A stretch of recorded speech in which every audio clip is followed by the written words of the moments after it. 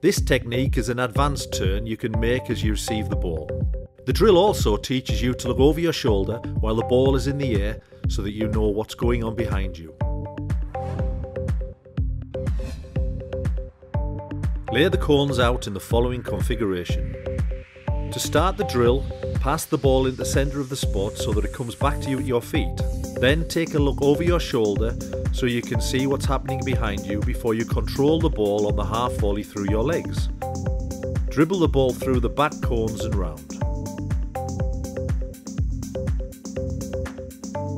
Again, pass the ball in and take a quick look before controlling the ball and dribbling round the cones. See how many times you can do this in one minute.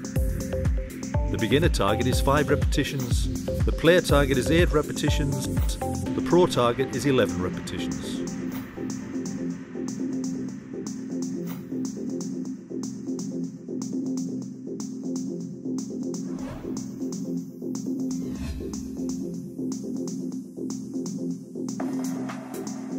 Anticipate where the ball is going to land and use the instep of your kicking foot to guide the ball behind you through your legs. As soon as you make contact with the ball, you want to turn around and face the ball and get it under control. Before the ball arrives, you must raise your head and check behind you. Knowing what's going on around you on the field allows you to make the right call in those crucial seconds as the ball comes towards you.